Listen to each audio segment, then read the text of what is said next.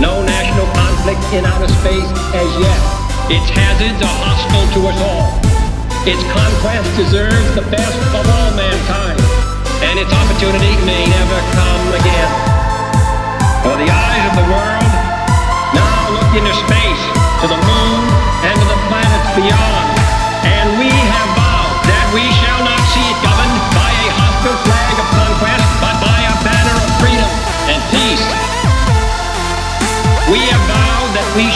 See space filled with weapons of mass destruction, but with instruments of knowledge and understanding.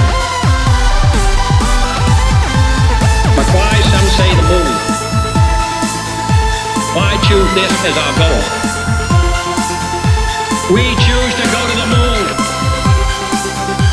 We choose to go to the moon in this decade and do the other things, not because they are easy, but because they are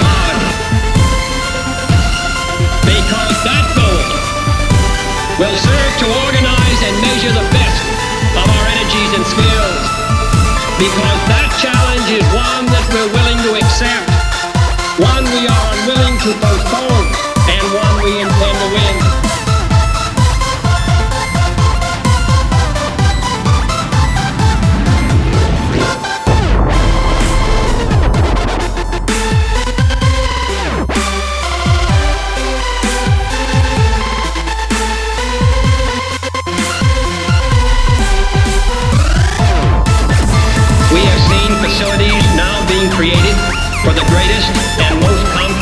exploration in man's history.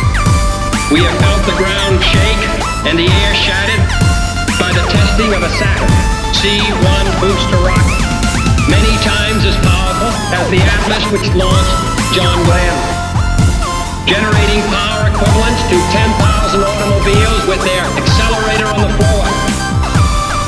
We have seen the site where five F-1 rocket engines, each one as powerful as all eight engines of the Saturn combined, will be clustered together to make the advanced Saturn missile.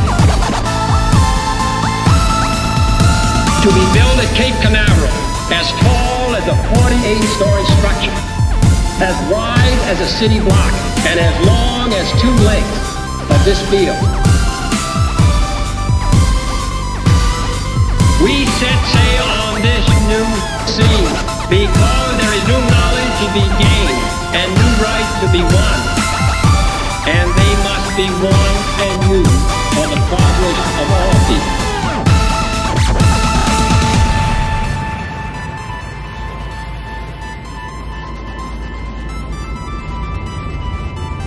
The exploration of space will go ahead, whether we join in it or not.